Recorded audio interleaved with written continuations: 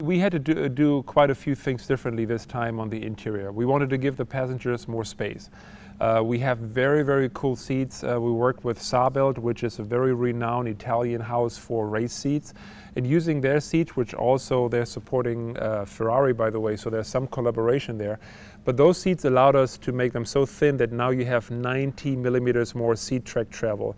And we also did a lot of work with the doors to cave them out and give you more arm room. So overall, it's a much more space, uh, spacious interior. So even for someone like me, as tall as me, I can now drive it but we were really focusing on three areas, uh, materials, craftsmanship, and technology.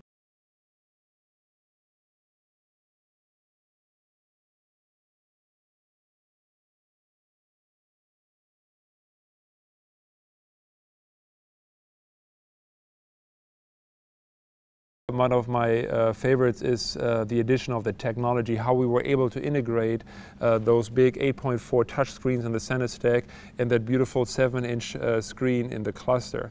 And one of the things uh, I want to give away that we, you will enjoy as a driver is as you rev that vehicle up to its rev limiter at 6,200 uh, 6, RPM, you'll get the Stryker logo uh, glowing uh, on the 7-inch telling you to back off. So that is a very nice feature, very proud of, and it shows how much fun the team had working on it, and it shows how everyone came together to create a holistic, great experience.